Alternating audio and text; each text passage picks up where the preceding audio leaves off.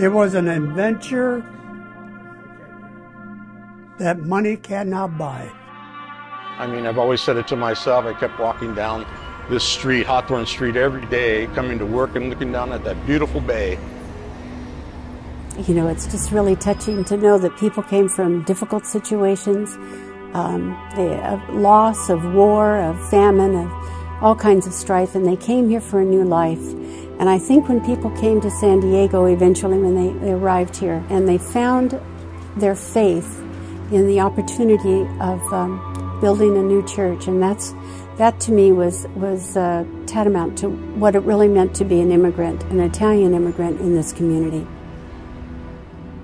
My dad had five children, and he actually um, put his house up as collateral to buy this business. You know, when people ask you, would I be willing to take that chance knowing that I had five kids and going into a business that, a new business that I really didn't know about? And that was a big risk for my dad.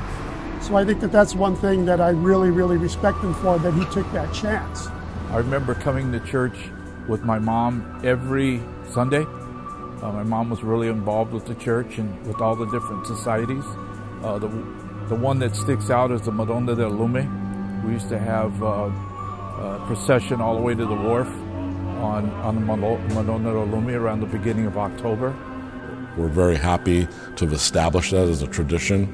Like I said, we're going on 87 years almost at the Madonna del Lume, um, and um, we're going to continue that tradition as long as most of us are still here and, and our kids and our grandkids continue to, to pass that along. Getting back to the old days, which I'll never trade, I figured it out at this age that life is full of mysteries and events.